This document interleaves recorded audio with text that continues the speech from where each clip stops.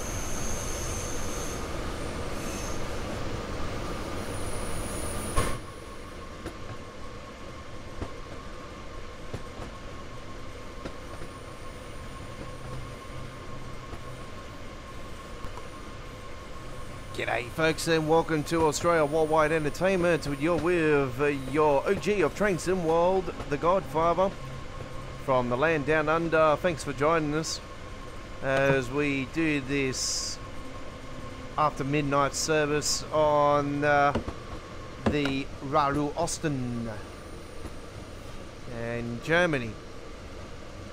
And uh, this is a service that is uh, currently empty as we're coming out of one of the holding yards along this route.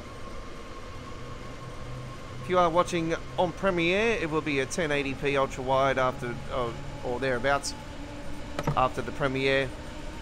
It'll be shown in 4K resolution. Do enjoy.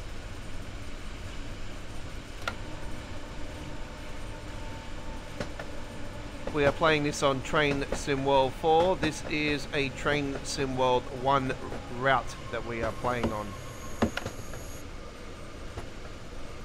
And we're on PC.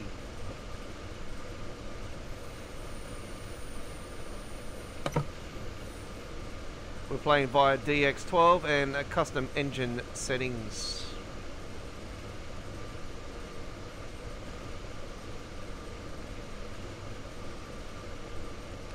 This has been recorded in September 2024, a few days before the release of Train Sim World 5.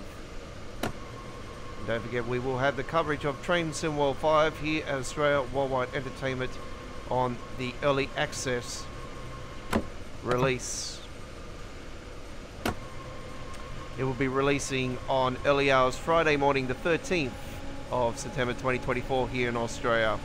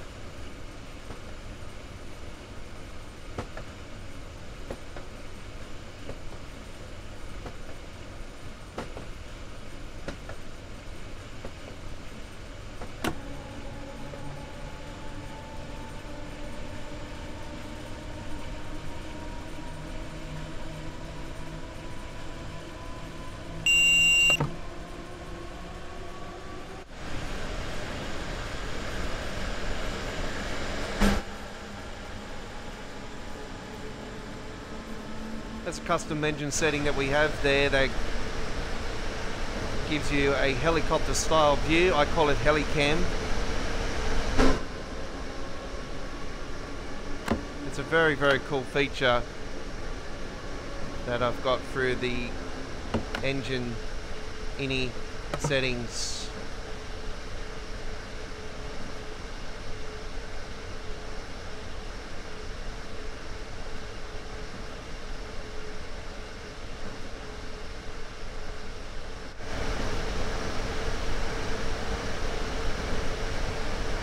can pan this around, which is really cool. You can zoom up more, come down more, make it faster. It's a really, really cool feature. It makes the game look like a complete different beast.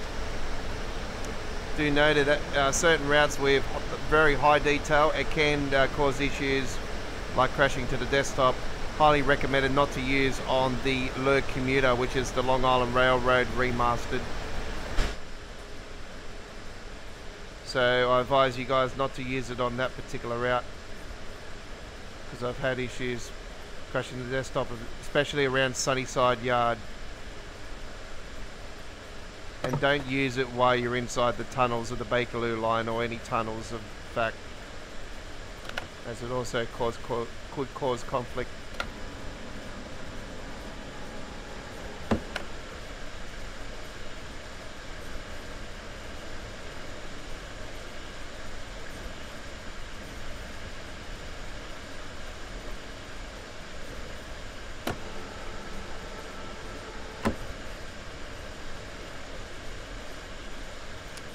Don't forget we are live streaming on the Wednesday, the 11th of September 2024 with our final Train Sim World 4 live stream with Midweek World of Trains episode 188. It is our Train Sim World 4 top 5 routes countdown as we're going to count down the 5 best routes of the Train Sim World 4 era. There was 11 routes released in Train Sim World 4 and we are going to count down to what I think is the best route released in Train Sim World 4. After the live stream, we will have a special uploaded video of the best route of Train Sim World 4 also added to our YouTube channel.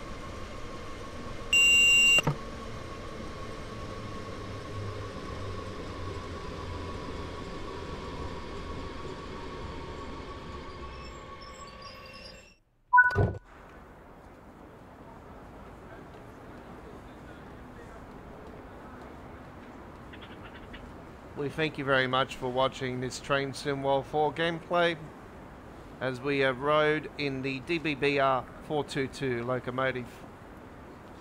Like and subscribe to Australia Worldwide Entertainment today. Check our free dedicated Train Sim World playlists on our playlist area today. Some of them are showing on our home screen of our YouTube channel. See you next time.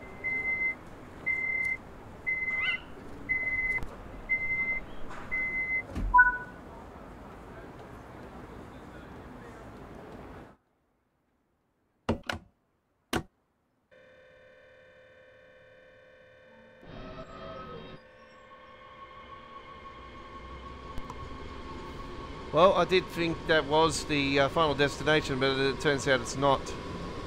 I thought that was the final destination. I'm so used to stopping at that location on the trips, so it's just uh, common sense, just a, just a norm that's in my brain. very rarely I go down the Steinbach, so it's, uh, yeah. Steinbach's very, not too often go to Steinbach finishing services.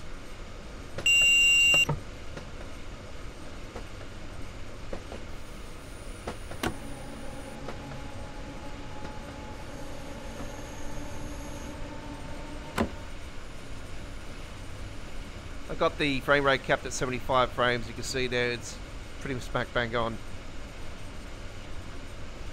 But I do advise you guys, if you do play on console and you uh, are wanting to jump to PC, do note that the older routes, especially the Train Sim World 1 and 2 routes, the frame rate uh, is way superior, way better compared to the Train Sim World 3 and especially the Train Sim World 4 routes, and I'll probably say the same with Train Sim World 5 routes, uh, just because of the uh, the skybox and the uh, the upgraded graphics just uh, you know make the game's frame rate uh, just chew up way too much more. So you find that the uh, frame rate is way less than the older routes. That officially is the uh, final destination, I do believe. So there you go. Thank you very much for watching. I do apologise for that false intent back there. I'll see you on the next one. Take care.